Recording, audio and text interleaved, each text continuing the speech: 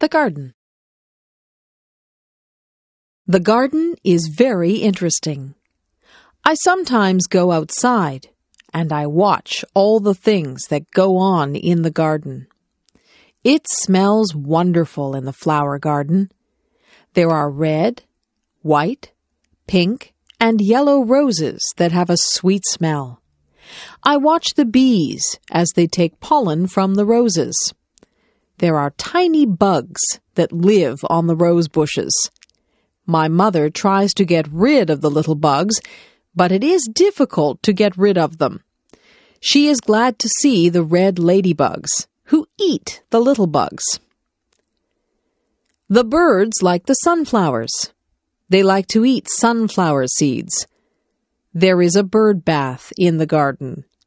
The blackbirds and swallows go in there to take a drink or have a bath.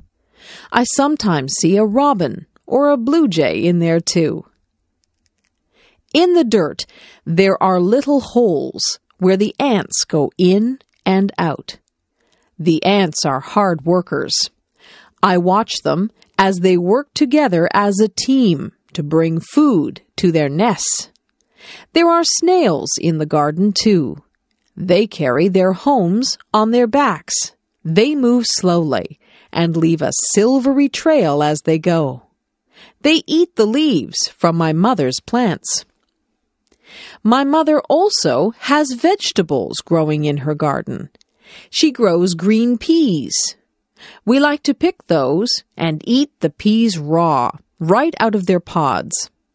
She grows lettuce and tomatoes too. We have so many tomatoes that we always give some to our neighbors. My mother sends us outside to pick lettuce and tomatoes whenever we have a salad.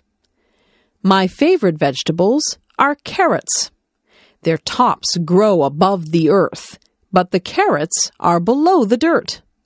When you pick them, you have to pull the carrots out from under the soil. Weeds also grow in the garden. After a good rainfall, it seems that the weeds just spring up. I pull the weeds out by their roots so they won't grow back. Weeds choke the good plants, so we don't want them in our garden. Gardening is a good hobby. You get fresh air, sunshine, and exercise. You even get beautiful, colorful flowers and nice fresh food.